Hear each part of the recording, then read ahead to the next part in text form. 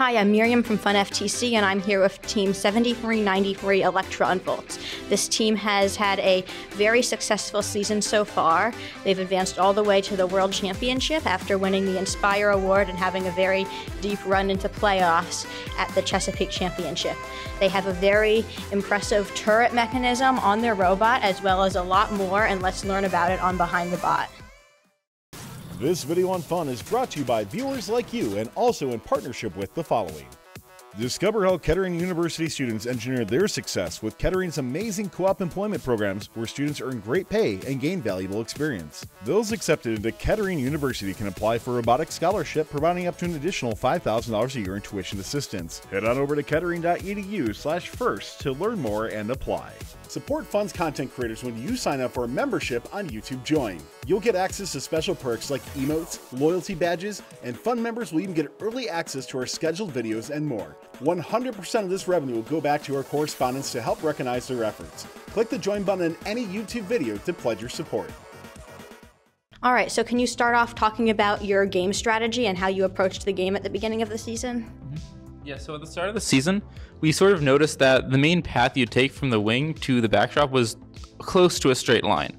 So that's when we sort of decided that if we could use six wheel drive, it would be a lot better for our robot because that gives us increased acceleration and traction so we can also sort of control that lane of the field and even push other robots.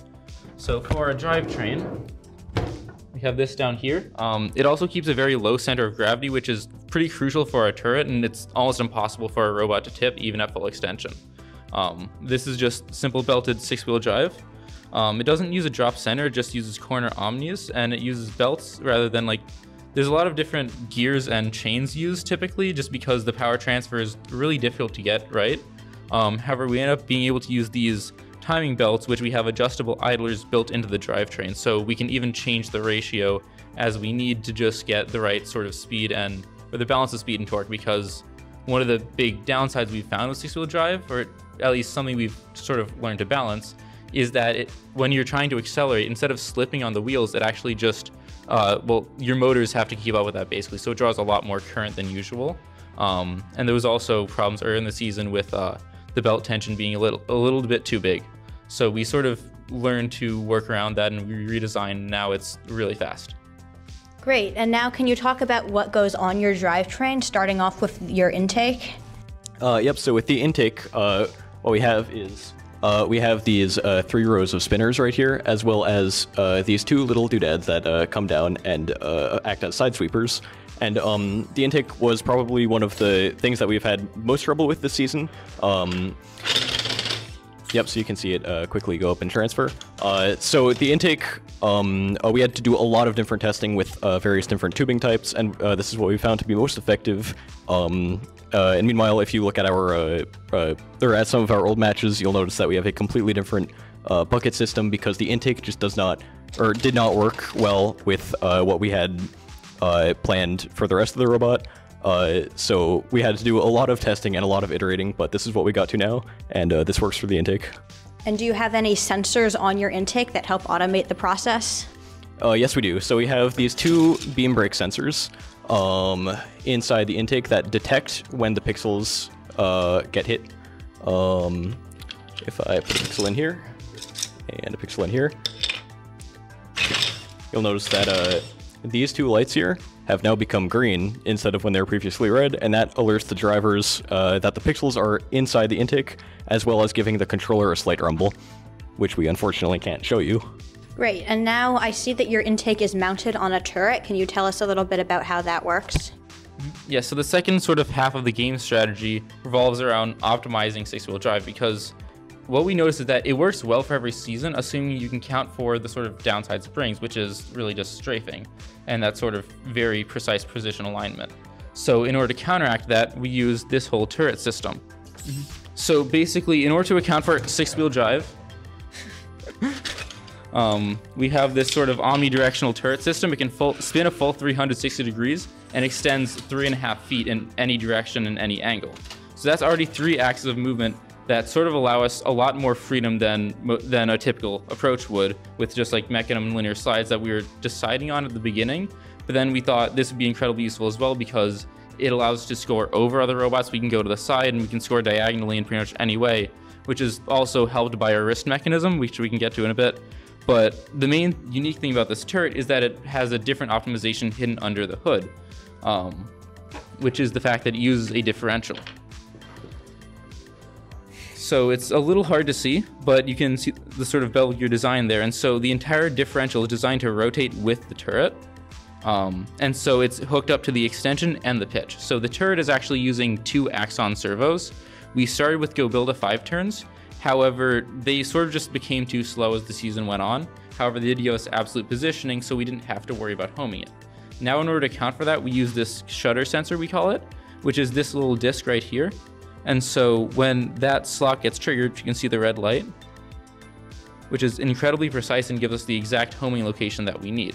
Um, and then, yeah, our differential turret, so it control it uses both motors to either get two motors worth of power on the tilt or the extension. Um, I think it's powered right now, but and so we can do both incredibly fast. The second part of this game strategy is something we quickly noticed after our first qualifiers that despite all of this, we were still mostly limited to scoring perpendicularly. So what we developed was, well, first of all, we have this wrist that just adjusts to the 30 degree angle of the backdrop, which uses a potentiometer we have on here. So this is our compliant wrist mechanism, and it lets us score from any angle no matter where we are in the field. Um, we went through a few iterations, the reason we have this whole snake wrist thing now um, is because it uses this little joint here, but when it's a straight line, you're actually coming to the backdrop from a weird angle compared to the rotational axis of the bearing or even just your robot. So if you have that flat, it allows it to automatically be completely horizontal. Beforehand, it would like tilt weirdly like that. Um, and so while we could still score from any angle, it wasn't as good for precise mosaics. Um, so yeah, we use that. And then do you want to talk about the dropper? Yep. So and then uh, after we have this whole complicated uh, turret mechanism, we also have our scoring mechanism itself, uh, which is this dropper here. Um, and this dropper utilizes two mini servos uh, to individually control the release of pixels, um, and uh, as well as uh, having this funnel mechanism uh, right here that you can see. And what this funnel does is when transferring pixels, uh, pixels would often get uh, stuck on top of the bucket system, and we didn't want that, obviously. Uh, so we designed this funnel to make sure that pixels would always get transferred 100% of the time. And we also call this the Maryland Crab Trap because it has a unique feature that was also developed sort of out of need that with enough force, these pixels could fly out basically. That happened during quite a few of our matches, so we developed these little crab trap mechanisms that will lock the pixels in place. So the basic idea is that any force to fling these out would therefore also have to move these even just a little bit. But even if it goes up slightly, it can't get out and, it, and the force is automatically canceled out. And so they're trapped in there unless they escape from the bottom. Yeah, so that's really cool. So, what kind of software did you use to automate this whole really complex mechanism? So, the actual software behind it is uh, much more complicated than you expect because the differential that's underneath the robot actually uh, requires a lot of complex math to be able to get the correct uh, outputs. For instance, if you want the uh, slide to extend, you have to power one forward and one backward. So to be able to get the power that we actually want, it will take a little bit of math uh, and matrix algebra to be able to calculate the correct thing. Additionally, we have a auto aim feature on our turret. So the driver just has to touch a point on the touchpad of the PS4 controller, and that would basically uh, aim it automatically onto the backdrop. Yep. And so now that we understand like the basic pixel manipulation, can you talk to us a little bit about your end game tasks, including your drone and hang? Uh, yep, so our, uh, uh, starting with our hang mechanism, uh, we actually use two tape measures, uh, which seem strange, uh, but they've actually ended up working really well for us, as well as these hook designs. Um, uh, you can see they've got a little lip here, and what that lip does is it allows us to uh, grab onto the truss for uh, hanging in a much larger, larger radius, as uh, previously we would just fall off the truss if we didn't fully hook uh, on the climbing hooks.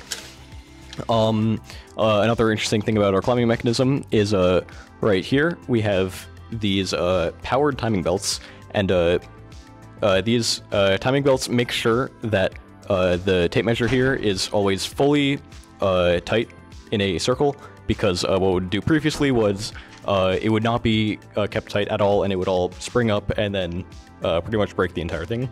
Um, Yeah, so basically, uh, another way to put it is that when you try to extend just from here, it's just, it doesn't actually move this for a while until you create enough force because there's so much friction because it's, the spring just tries to extend it and expand it into just a much larger circle basically. So it's pushing against the outsides of the drum.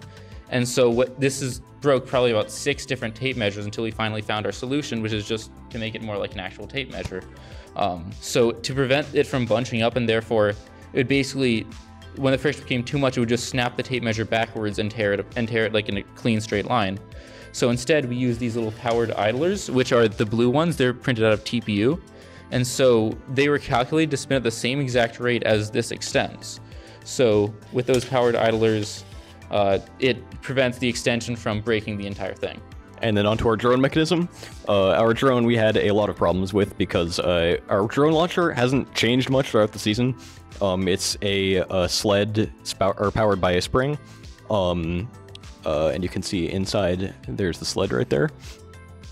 Um, uh, so the main problem that we had was not the launcher, but the drone design itself. And uh, what we noticed was at the Chesapeake Championship, uh, there was another team, N-1, who had gotten 7 out of 8 of their drones in Zone 1, and so we reached out to them asking for mentorship, and uh, this is what uh, they helped us make, which is a windmill design, um, and what this, uh, that is front heavy, so it has more weight on the front side than it does on the back, and what this will do is it will force a spin on the drone and then cause it to come crashing down, almost always in Zone 1. Today we got Zone 1 four times out of five matches that we played at the scrimmage, and Zone 2 in the fifth.